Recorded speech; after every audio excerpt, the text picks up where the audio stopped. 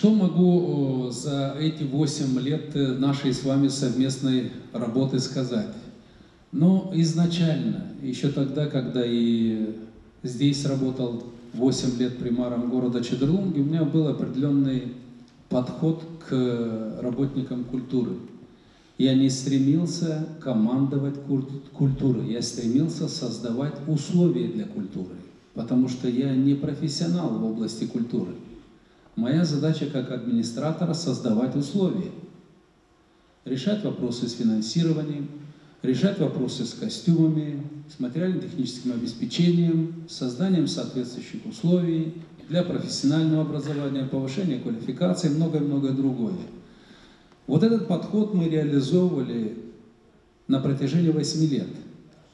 И когда выступил директор Дома культуры Кангаза, я понял, что мы эту задачу, по, по сути, выполнили. Да, много еще предстоит делать. Но человек выступает и говорит, вот это неправильно, это неправильно, это неправильно. И я с ним согласен. Надо дать возможность директору Дома культуры иметь свой баланс и быть самостоятельным. Мы с чего начинали? Жаловались все педагоги забирает деньги с моей школы при Марии, пускает туда. Мы убрали все лицеи на самостоятельный баланс. Вот вам ваши деньги, вы хозяева своих денег, руководите своими коллективами, распоряжайтесь. Задача стоит детские сады. Детские сады тоже уйдут, будут самостоятельные. Дома культуры. Конечно, не можешь ты взять Дом культуры села Джалтай, где два человека в штате работает, и сделать их самостоятельной единицей, вот вам ваши деньги на вашу заработную плату и распоряжайтесь ими как хотите. Потому что они должны бухгалтера, там счет открывать и так далее. Но в таких случаях объединение должно быть. 5-6, их централизовать. Но если ты в селе Джалтай заработал 17 тысяч лей, то все 17 тысяч лей остаются у тебя там в селе Джалтай. Я разбирался по Кангазу и приглашал и примара, и говорил с вашими примарами, с вашими советниками, говорил, это неправильно, когда у управления культуры те ресурсы, которые направлены на культуру, местные органы власти забирают и пускают их на совершенно другие цели. Это неправильно. Вместе с тем вы поднимали вопрос, вот подняли по Дюзове. Мы э, поставили перед собой такую амбициозную задачу, чтобы в Гагаузии был свой ансамбль песни и танца. Вот есть там Александрова, есть Лаутара, есть там Жок. Вот такую задачу я поставил перед управлением культуры. Разработали программу. В моем видении этот э, орган Гагауз концерт, он своего рода как Молдова концерт. Вот, э, дают э, концерты по всему миру, и я планировал, что там должен быть двухэтажный такой хороший неоплан, человек на 45-50, чтобы можно было в любой момент иметь профессиональные коллективы, и песни, и танцы, выезжать на гастроли. К сожалению, в силу того, что политика вмешивалась в культуру и стремилась командовать культурой. Не создавать условия, а стремилась командовать. Взяли, передали решением Народного собрания. И Дом культуры Камрата забрали, отдали городским властям. И э, Дюзову забрали, отдали городским властям. Дюзове грех жаловаться, полтора миллиона лей вы получаете в год. Но на эти полтора миллиона лей вы можете поехать и концерты, и гастроли по всему миру. Никто вам не мешает на эти полтора миллиона лей распоряжаться этими деньгами. Поэтому это, эти вопросы Дюзова должна задавать все-таки э, местным органам власти в Камрате. Но испохабили саму идею ГГУС концерта. А эта идея, хотите вы того или не хотите, но она будет, эта идея реализована.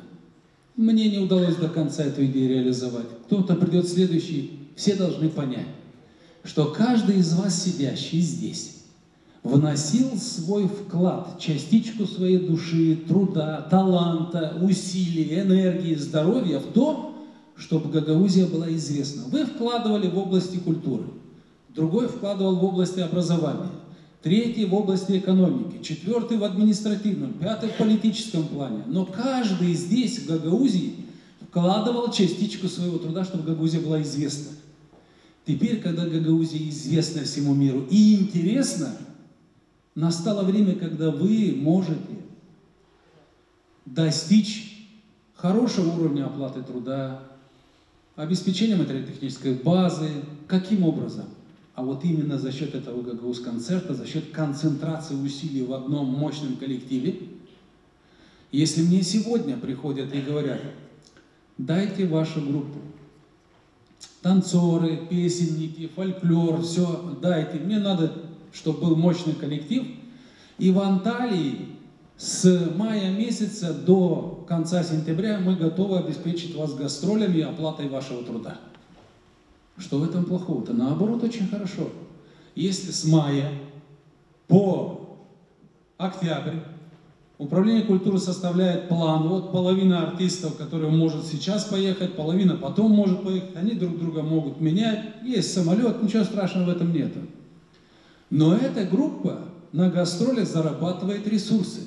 Зарабатывает на Гагаус-концерте. К примеру, я, мое видение было такое, что надо половину денег пустить на костюмы, на аппаратуру, на материально-техническое обеспечение, содержание автобуса и так далее, и так далее – но половина должна однозначно идти на оплату труда артистам.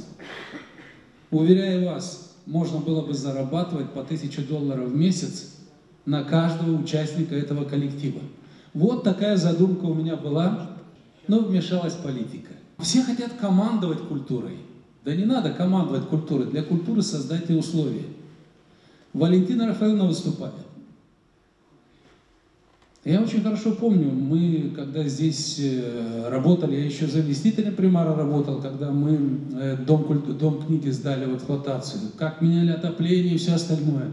Сохранили, создали условия. Теперь эти условия работают не только на э, городскую библиотеку, районную библиотеку, они работают уже на всю Гагаузию. Потому что Центр Новотека реализует эти проекты, проект Новотека реализует по населенным пунктам 15. И знаете, с чем сталкиваемся? Сталкиваемся с тем, что примар должен обеспечить подачу тепла в библиотеку. И он говорит, свободно, нет у меня денег, идите к Башкану. Вот так. Ну ты же примар своего населенного пункта. Эти же услуги не Башкан будет получать. Эти услуги будут жители твоего населенного пункта получать, в котором ты живешь, руководишь этим населенным пунктом. Создай условия. Новотека что говорит? Мы дадим вам компьютер, мы дадим вам условия, создадим, но обеспечьте тепло, чтобы это все функционировало, и чтобы человек, который работает в культуре, должен иметь нормальные условия для работы. Так или не так, Валентин Рафаэль? Мы стали интересным миру. Все хотят знать, что же это такое. Все, вся, весь мир говорит о гагаузах, особенно после того, как мы прогремели с референдумом, Весь мир интересуется. Сегодня посмотрите, избирательная кампания, и Россия гудит, и Европа гудит, и послы приезжают, все интересуются Гагаузией, 160 тысяч человек. Мы интересны. Вот этот интерес надо реализовать посредством конкретных проектов, без того, чтобы политики или кто-то стремился руководить культурой. Для культуры надо создавать условия. Вот это коротко, что я хотел сказать. Конечно, многое было сделано еще больше предстоит сделать. Каждому из вас я благодарен за то, что вы работали, вкладывали свой труд, прославляли нашу автономию далеко за ее пределами. Если сравнить, каждый из вас скрупулезно сядет и посчитает, самый первый фестиваль гагаузской песни, который мы, Василий Георгиевич, проводили здесь, в Чедрлунге, еле-еле наскребли песни на гагаузском языке. Сегодня вы можете провести фестиваль три дня, и три дня будут звучать песни на гагаузском языке непрерывно все разные. Так или не так? Шаг сделали? Сделали. Дай Бог, чтобы следующая команда, которая придет, сделала два шага вперед. И вот это будет правильно. Почему мы вот это все опубликуем? А для того, чтобы потом через энное количество времени сравнить. Если исполком каждый год выделял 60 тысяч, 40 тысяч, 70 тысяч, в прошлом году 110 тысяч на приобретение костюмов. Теперь посмотрим, эта динамика, вот мы в 2014 выделили 110, по-моему, да, Василий Георгиевич? Мы выделили 110. Теперь все 4 года следующая команда, будьте добры, мы начинали с 40 тысяч, дошли до 110. А теперь вы начинаете со 110 и завершаете 200 тысяч каждый год на костюмы для творческих коллективов. Нормально? Нормально. Мы начинали там 600 тысяч на дома культуры, дошли максимальные, по-моему, в 2013 году 7 миллионов, да, на дома культуры. Вот так поступательно идет. 3-4 миллиона на э, капитальные вложения. Надо двигаться дальше. Конечно, хочется, чтобы все дома культуры отапливались, но вы понимаете, что этого уже не будет. Значит, надо перестраивать работу. Крупные населенных пунктах дома культуры должны быть самостоятельны со своим балансом, со своими счетами, через казначейство, оторванные от местных органов власти, которые, по сути, грабят культуру своего родного населенного пункта. Дом культуры в состоянии заработать в городе деньги. Он в состоянии проведения мероприятий, пусть даже недорогие билеты, но это реально.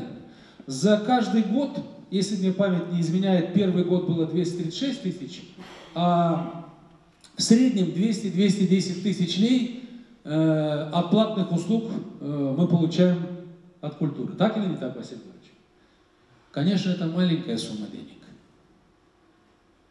Я сторонник того, чтобы дать больше, максимум условий, с тем, чтобы вы сами зарабатывали. Те же библиотеки.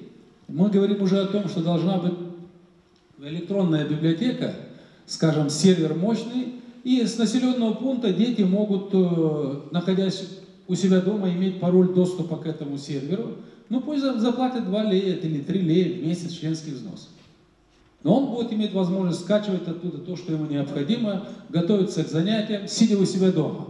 Ну, 21 век. Это надо делать? Надо делать. Это условия? Условия. Кто в этом заинтересован?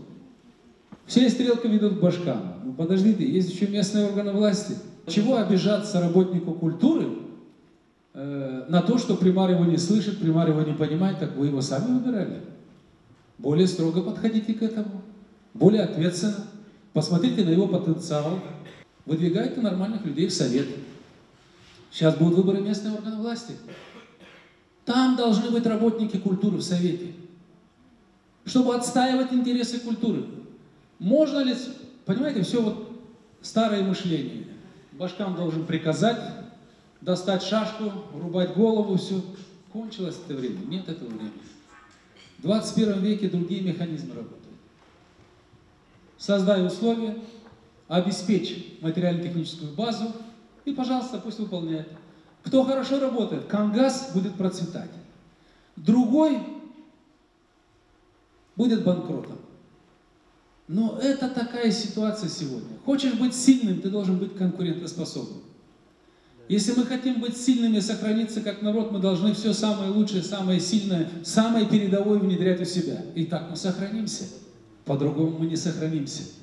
Надо двигаться дальше. Инициативных поощрять, дать им больше возможностей, а те, которые пассивные, ну, что делать? Появятся на их месте другие звездочки появятся. Одну-две песни пел Петр Петкович. А сейчас Петр Петкович десятки песен поет и по всему миру. Михаил э, Константинов начинал с маленькой мизансцены в этом, на площади. А результат, который достиг, лучшая мужская роль на международном фестивале, там он получает э, гран-при, признание. Ну, кто-то с чего-то, каждый с чего-то начинает. С маленького начинает, но может достичь большого. Вы проанализируйте, сколько фестивалей международных, где вы выступали. Ездили, показывали богатство культуры гагаузского народа. Это же замечательно. Вот по этому пути надо идти дальше не конфликтовать, не скандалить, не обвинять друг друга, а предлагать реализовывать и добиваться.